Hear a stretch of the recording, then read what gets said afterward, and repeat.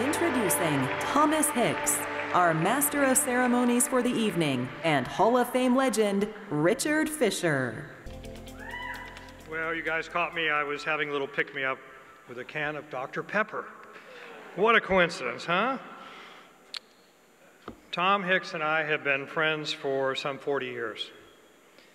And today we either talk or text each other three or so times a day. And oddly, just like a can of Dr. Pepper says, most often at 10, 2, and 4. Although I confess, the 4 o'clock Dr. Pepper has been replaced by martinis. Tom is a true friend. And the great business legends that we honor at the Texas Hall of Fame all have many acquaintances, but few have true, true friends. A true friend knows your weaknesses, but shows you your strengths. A true friend feels your fears and fortifies your faith in yourself, sees your anxieties, but frees your spirit, recognizes your drawbacks, but emphasizes your possibilities. Tom has done that for me for 40 years, and I've endeavored to do it for him. Now, I was a midshipman at the U.S. Naval Academy, and in Annapolis, I was taught that anyone can hold a helm when the sea is calm, but it takes a very strong helmsman to navigate heavy seas. I have watched Tom sail the calmest seas with bravado and I have watched him navigate the fiercest of storms. He has always held the helm. He has always kept going. And this is why I admire my neighbor, my friend, so much. Tom, it took a long time for the Texas Business Hall of Fame to honor you, but now is your moment. So, congratulations, my friend, my true friend. Come up here and be honored. Tom?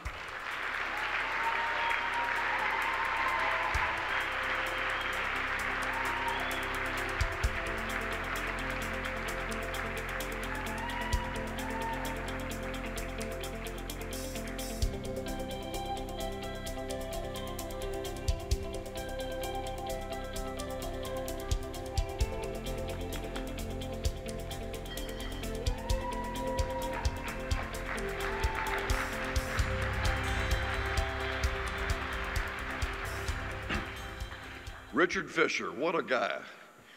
He's the last Democrat I supported.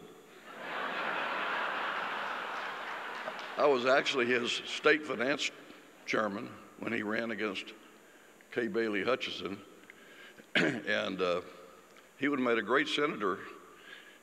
His, his, his story was, I'll be a conservative Democrat. And uh, there weren't many. So, uh, but Richard is, is one of the smartest guys I know. He is intellectually smart. He's uh, brilliant on his feet. He's great on TV with C- on, uh, CNBC. He was, I asked him to be one of the founding outside directors on UTIMCO, which he did. He did a great job before he left to be an ambassador uh, in Washington. But anyway, at my age and everything I've done, that's a long story, and they've, get, they've allocated five minutes to each of us to, to make remarks. So I can't do that, so I'm going to touch on two small things. One is to talk about kind of how I got into this whole uh, really unknown business called private equity, or back then it was called venture capital, and how either the fates of life or divine intervention, but I got this opportunity and I jumped all over it. And the rest was history. And then I'm going to touch briefly on when the governor of Texas asked me to come help her fix the uh, UT uh, endowment returns, which were among the worst in the country, and that led to the creation of UTIMCO. So I'll talk about those two briefly. Uh, I mean, venture capital now has a connotation of high tech. It didn't back then. It was just doing private investments. There was no such word as private equity. It was, it was called venture capital. Uh, and I didn't know what it was, but I was a marketing major at University of Texas. But I had a chance to interview with, in, in, in, with Continental Bank in Chicago, the biggest bank in, in Chicago and really in the, in the whole Midwest. And it was when I'd come out of the Army with, as I mentioned in the film, I was feeling very independent. So I wanted to send myself to graduate school at night at Northwestern, and the bank had that program. So I went to work for this bank. And by the way, Chicago in 1969 was not a bad place to be a young bachelor. Uh, so I had a lot of fun. Uh, there were 13 United Airlines stewardesses that lived on my floor. and back then, if you were a stewardess and you got married, they, they fired you. Okay. But life changes. anyway, I was, a, I was a young grunt in the credit department. I was doing analytical work and writing letters, replies to inquiries, and all the crap you do in the credit department as a, as a rookie. And somebody in the bank had the idea that, well, let's, they're talking about all this new stuff in Washington that banks are going to be allowed to do. And that was really the, uh, the lead up to what became the, one by, the Bank Holding Company Act of 1970.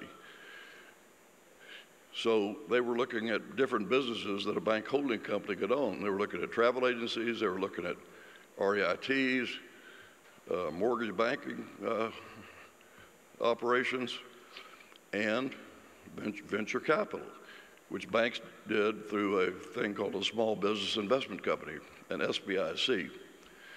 So they used us grunts in the credit department to go in the library and write the first draft of a report on what that business was all about. So I spent about two months researching this, this new word called venture capital and I was fascinated with it. I mean, it was, it was really a cottage industry done primarily by uh, some wealthy guys. My wife Cinda's uncle was one of the pioneers uh, back in the 60s, and he, you know, they'd make a $50,000 investment in a startup, and if it's success, successful, they'd make, you know, whatever, but a lot. And, and uh, were, the only institutional capital were, were the banks who was do, were doing it through their SBICs. So I ended up leaving the bank, went back to business school full time in Los Angeles at USC, and I spent all my time focusing on venture capital. You know, all my friends were either real estate guys or bankers. Uh, nobody knew what I was interested in. And I mean, Dick Vermillion's here tonight. He, he, he had no idea what venture capital was. Uh, but at age 27, I was able to talk myself into get talk talk the bank into hiring me to to come run the biggest venture capital subsidiary in the South, which was the First National Bank in Dallas. And so I came at age 27. I didn't know what I was doing, but I, I got the job, and uh, uh, after about th three years, I figured I was on the wrong side of the table. I wanted to be the guy on the other side of the table getting the money instead of being the guy dishing it out. so I had the opportunity to do my first leverage buyout, which I did at age 31. Uh, company in Dallas called Atlas Architectural Metals. and I met a wonderful man in New York named Louis Marks, who was a lifelong, became a lifelong friend, and he put up the money. And that kind of got me going. I, I started doing deals, and uh, I formed Hicks and Haas in 1984, 85. and at that time, Forstmann Little had taken Dr. Pepper private, and then they sold off all the pieces, and we end up buying the biggest piece at the end, which was the bottling operation in uh, North Texas. and it was a 90, $95 million deal, which for guys that were playing penny ante, that was a lot, that was a big deal. and we raised the money through GE Capital. Step back and look at it. Today, private equity is now part of what they call alternative assets, is a $10 trillion industry. $10 trillion industry. Back then, I bet it was under a billion, for sure. Uh, it was such a small, highly inefficient market. We didn't have a fund, but we were able to buy Dr. Pepper because we were able to, to go convince people to invest in us. Uh, and we had the management team locked up, which was the key. But uh, it was truly a remarkable time, and I, I, I thank God for it because I think it was divine.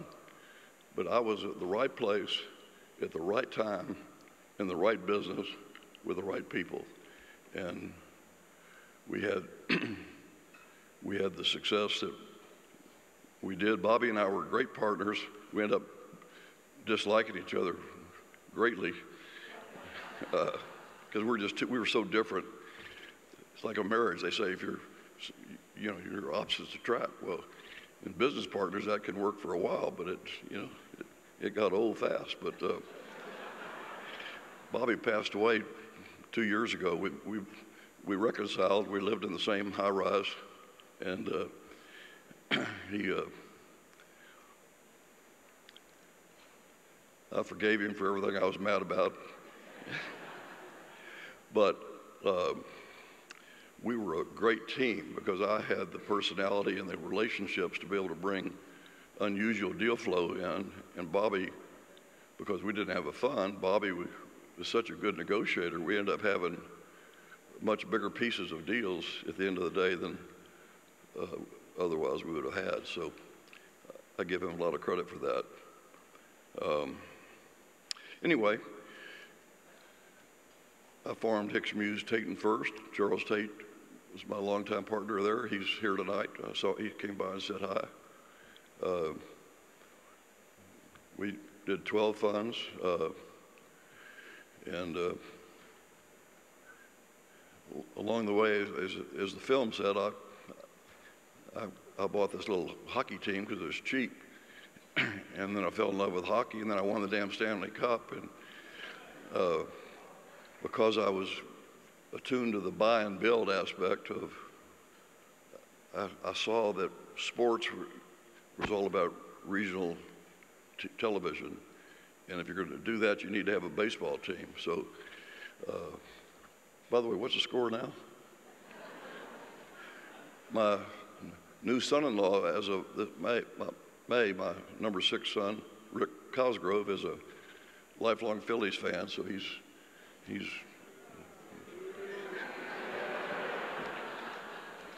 okay. Enough of that. So uh, let me talk about UTIMCO because I'm a lifelong Republican, conservative. Uh, other than Richard, I never backed a, a Democrat. Uh, I had a lot of friends that were Democrats. Uh, Tom Dunning's one of my best friends. He's a Democrat. He's here tonight, sitting at my table. But uh, we may not be friends next Wednesday when the results come in. I've got inside information. It's going to be a good day for like minded people.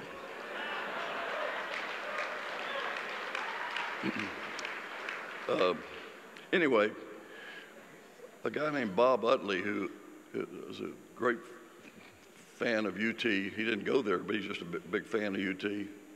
Was one of our investors, and uh, he asked me to go, go with him to come go meet with the governor. He said, "I think, I think she she would like to talk to you."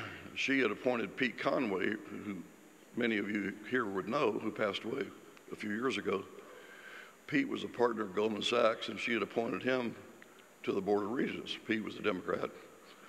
Um, and after a, a, year, he figured out it was a intolerable conflict of interest with his, his partnership in Goldman Sachs. So he had to resign, and they were really look, looking, Ann was really looking to Pete to figure out how to solve this problem. And all of a sudden he had to, he had to resign.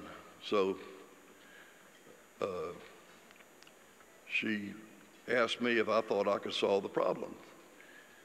And I, told her I could. I, th I, thought I knew exactly how to do it. I'd, I'd go talk to all the smart people that are doing it the right way, and we we ch change how we're doing. so she took a gamble. She said, "Don't ever embarrass me. I'm gonna, I'm gonna appoint you." And uh, she gave me carte blanche, total authority, which is interesting because it's all about power. Money is power.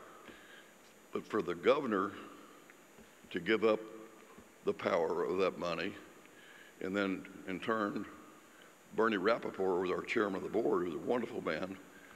uh, Bernie gave up that power, and they abdicated and said, all right, Tom, Tom's going to go solve this problem. We'll, we'll give him a chance to do this.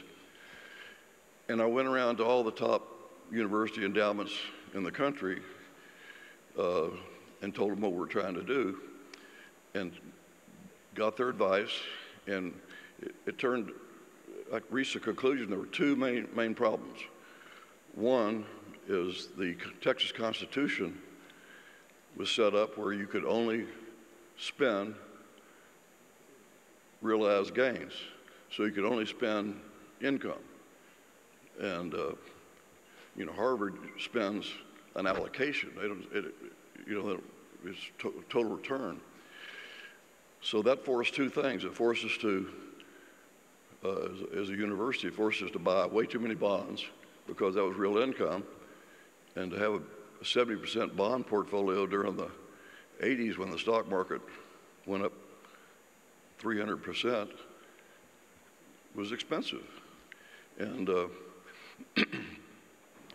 the, uh, the other problem was that the chairman of the Board of Regents has had, probably still does, virtually dictatorial powers uh, with the support of the rest of his board. So as it came to how they were going to manage the money, it was up to what the chairman of the board wanted to do. So if you were chairman of the board of and like bonds and didn't like stocks, they'd do bonds. If, they, if the other way, they'd do stocks. So there was no institutional memory, there was no continuity. So we, and, and then we couldn't pay people. Uh, I think Britt Harris is here tonight. Uh, Britt would have never been able to be attracted to UTIMCO in the old days. They were, the pay scale was, was compared to professors. So uh, when we set up UTIMCO, well, first of all, we had to go get a constitutional amendment to change, to allow total return payouts. And I, I funded that, the, the, lobby effort personally. Uh, uh, we got it done. Uh, back then, the leaders in, in, the, in the legislature were Bob Bullock, uh, and, and, and, of course Governor Richards, and they kind of stepped aside, allowed that to happen, and uh, and we brought in outside directors with, on a nine-year term to create that institutional memory. Richard was one of our first, as I said, uh, until he had to leave us. but we had uh, Luther King was there for nine years. Susan Montgomery was there for nine years. And uh, I'm not sure how many outside directors there still are, but it created a whole uh, uh, long-term view of how, how, we do things. By the way, we did a we did a, uh, a simulation in 1995 where we went back to take the same asset allocation model we'd adopted in 95 after we'd done all this new stuff and went back to 1980 and simulated what the returns would have been, and they would have been $20 billion higher. 20 billion, and that's, and at the time, we were, I think we our total assets were 8 billion. So it, it was very expensive for the state of Texas to not have the right setup for managing their endowments. Uh, I am so proud of how UTIMCO turned out. Brett and his team are doing a great job. And uh, I think that, I, I think the assets are now six, 65 billion, up from about four. So anyway, when I sign my going away sheet at the end of the road, I'm gonna, of the things I'm proud of, there will be two things. UTIMCO and winning the Stanley Cup in 1999. Thank you.